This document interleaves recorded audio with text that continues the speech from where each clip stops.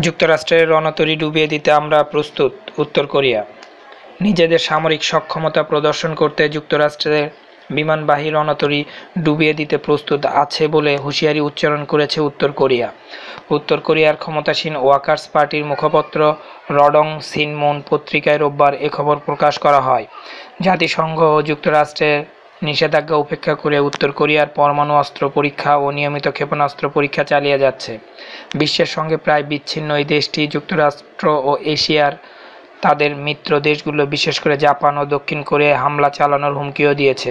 এর জবাব দিতে যুক্তরাষ্ট্রের প্রেসিডেন্ট ডোনাল্ড ট্রাম্প পশ্চিম প্রশান্ত মহাসাগরে কোরিয়া উপদ্বীপে বিমানবাহী রণতরী ইউএস কার্ল ভিনসনকে পাঠানোর নির্দেশ দেন।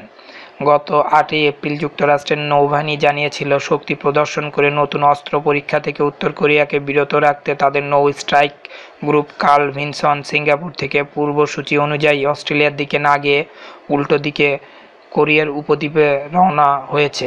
বিবিসির খবরে বলা হয়েছে, যুক্তরাষ্ট্রে ওই নৌ স্ট্রাইক গ্রুপটি গত কয়েকদিনে প্রশান্ত মহাসাগরের দিকে না গিয়ে ভারত মহাসাগরের দিকে এগিয়ে যাচ্ছে। এ বিষয়ে যুক্তরাষ্ট্র কর্তৃপক্ষ স্পষ্ট করে কিছু বলছে না। ভাইস প্রেসিডেন্ট মাইক পেন্স শনিবার শুধু বলেন, নৌ স্ট্রাইক গ্রুপটি কয়েকদিনের মধ্যে পৌঁছে যাবে। তবে কবে নাগাদ সে বিষয়ে সুনির্দিষ্ট করে কিছু বলেননি তিনি। রডং সিনমুন পত্রিকায় খবরে বলা হয়, আমাদের রিভলিউশনারি বাহিনী একটি মাত্র আঘাতে যুক্তরাষ্ট্রের পরমাণু শক্তি সম্পন্ন বিমানবাহী রণতরী ডুবিয়ে দিতে প্রস্তুত আছে। বিমানবাহী রণতরী হেতকা পশু এবং একটি মাত্র আঘাতে সেটিকে ডুবিয়ে দেওয়া আমাদের সেনাবাহিনীর সক্ষমতার প্রকৃত উদাহরণ হবে। আগামী পঁচিশে এপ্রিল কোরিয়ান পিপলস আর্মি প্রতিষ্ঠার পঁচাশিতম বার্ষিকী পালন করবে উত্তর কোরিয়া। অতীতে এই দিনটিতে সাধারণত অস্ত্রের পরীক্ষা চালিয়েছে তারা। এখন পর্যন্ত পাঁচবার পরমাণু অস্ত্রের পরীক্ষা চালিয়েছে উত্তর কোরিয়া। এর মধ্যে গত বছরেই দুইবার পরীক্ষা চালায়।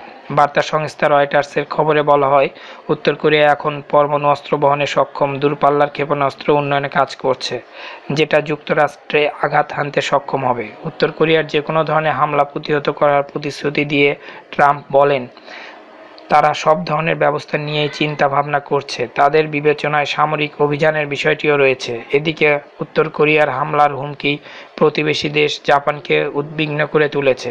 যুক্তরাষ্ট্রের নৌ স্ট্রাইক গ্রুপ কার্ল ভিনসনের সঙ্গে যোগ দিতে শুক্রবার জাপানের দুইটি যুদ্ধজাহাজ পশ্চিম প্রশান্ত মহাসাগরে রওনা হয়েছে। আমার এই চ্যানেল হতে আপনারা যদি লেটেস্ট নিউজ পেতে চান, তাহলে অবশ্যই অবশ্যই সাবস্ক্রাইব করুন। ধন্যবাদ সবাইকে।